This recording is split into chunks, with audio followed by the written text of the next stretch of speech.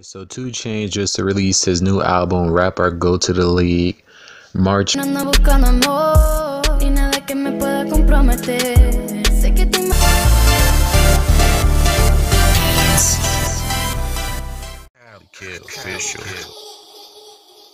the beat.